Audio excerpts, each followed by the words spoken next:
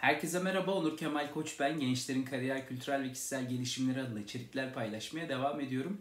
Video çekmeye bir ay kadar bir ara vermiştim. Bu bir ay gerçekten iş açısından, profesyonel yaşam açısından benim için çok gergindi. Çok negatif olduğum anlar vardı. Video çekerken de o negatif düşüncelerimi, hislerimi, yorumlarımı ister istemez siz gençlere taşıyabilirdim. Onun için beni biliyorsunuz zaten ben hiçbir zaman polyana, iyimser tarafa çok geçemedim ama bir realist çizgim vardı, gerçekçi bir çizgim vardı. Ondan da birazcık böyle kötümserliğe doğru kaydığımı düşününce bir ara vermek istedim. Şimdi size daha gerçekçi kimliğimle, daha böyle olayları objektif okuyabileceğim ve yorumlayabileceğim kimliğimle bir seri hazırlamaya karar verdim. Bu seriyi hazırlarken de yine birazcık oturup düşünme zamanım oldu. Dolu dolu bir içerik olsun, kısa ve net bilgiler içersin istedim. Onun için de böyle bu seriyi 7 bölüme ayırdım. Bu giriş 0. bölüm gibi düşünebilirsiniz. Bunun arkasında da hemen 7 bölüm hızlıca çekeceğim. Netflix dizisi gibi ama hani bir anda yayınlamayı düşünüyorum. Çok sizi bekletmeyeceğim. Aralara serpiştirmeye çalışmayacağım. Başka videolar. Direkt bu konu hakkında konuşalım istiyorum. Girişimcilikte bir yılımı devirdim. Bu bir yıl içerisinde gerçekten çok şey öğrendim. Daha önceleri Microsoft'ta çalışırken girişimcilerle daha böyle yazılım firmalarıyla diğer iş yapan böyle kurumsal firmalarla çok iç içeydim ama bu denli e, daha böyle ellerim işin üzerinde bir tecrübem o kadar olmamıştı. Şimdi insanın kendi şirketini kurması insana çok çok çok şey öğretiyor. Ekip kurma, ekibi yönetme anlamında çok fazla daha olanak sağlıyor. Ortaklık hem finansal anlamında bir ortaklık, kurucu anlamında bir ortaklık hem de iş yaptığınız diğer firmalarla gerçekleştirdiğiniz işbirlikleri, ortaklıklar insana çok şey katıyor. Piyasa koşulları, vergilendirme, tahsilat problemleri hepsi insana gerçekten çok şey katıyor. Bunları böyle dağınık bir videoda hani öyle bir saat süren bir videoda anlatmak yerine bölümlere ayırmak istedim. Sizler dilerseniz ilginizi çeken bölümü, dilerseniz de seriyi izleyebilirsiniz. Bir de şunu öncelikle söylemek istiyorum. Ben girişimcilik konusunda uzman bir kişi değilim. Bir yıldır öğrenen bir öğrencinin ders notlarını, tecrübelerini dinliyormuş gibi düşünebilirsiniz. Şimdi bu zamana kadar kanalda neredeyse 300'e yakın video var.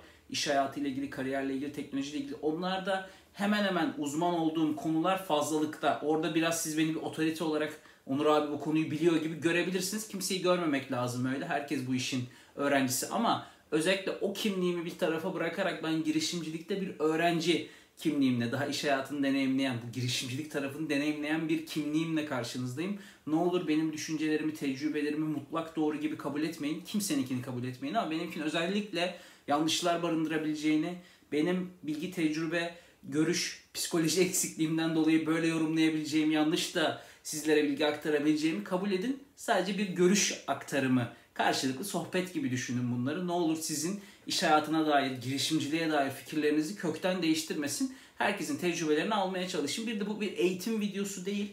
Ben size girişimciliği anlattım, işte girişimciliğin zorluklarını anlattım bir eğitim videosu değil. Tamamen benim kendi görüşlerimi aktardım, kendi deneyimlerimi aktardım. Ağzımdan çok ben ben ben sözcüklerini duyabileceğiniz bir seri gibi düşünün. Bu da önemli çünkü ben YouTube'da ya da diğer platformlarda Udemy falan gibi yerlerde dahil ya eğitim içerikli yani gerçek tecrübeden hayatın içinden kitabın ortasından cümlelerin olmadığı şeyler görüyorum ve onların Türkiye gibi koşullarda özellikle birazcık yetersiz olduğunu tabii ki de e, yapılmalı, alınmalı o eğitimlerden birazcık yetersiz geliyor bana.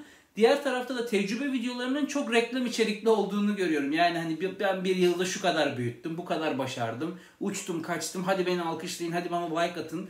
E işte gerçekleri birazcık daha maskeleyip daha böyle karşı tarafın dinleyicilerin hoşuna gidebilecek popülist e, söylemlerin olduğu videolar görüyorum. Onlar da değerlidir ama ben hani birazcık böyle Türkiye küçük bir yer arkadaşlar. Kimin neyi başardığını, nasıl başardığını da küçük araştırmalarla bulabiliyorsunuz.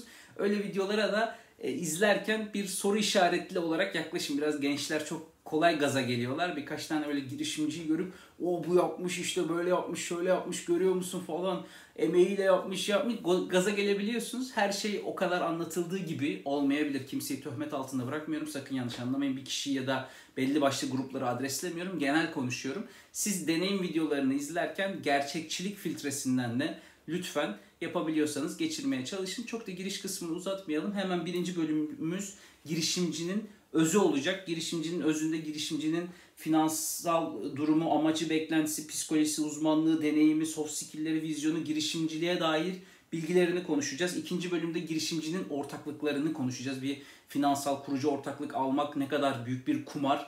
Onu konuşacağız. Üçüncü bölümde girişimcinin ekibini konuşacağız. Hem kendi kurduğu ekip hem de yararlanabileceği işte avukatı, mali müşaviri, mentorları gibi diğer hani insanları ona karşı e, ekibi gibi sayılabilecek insanları da ben birazcık size konuşmak istiyorum. Bu taraflarda ne öğrendim, neyi başardım, neyi başaramadım hepsini size şeffaf bir şekilde aktarmaya çalışacağım.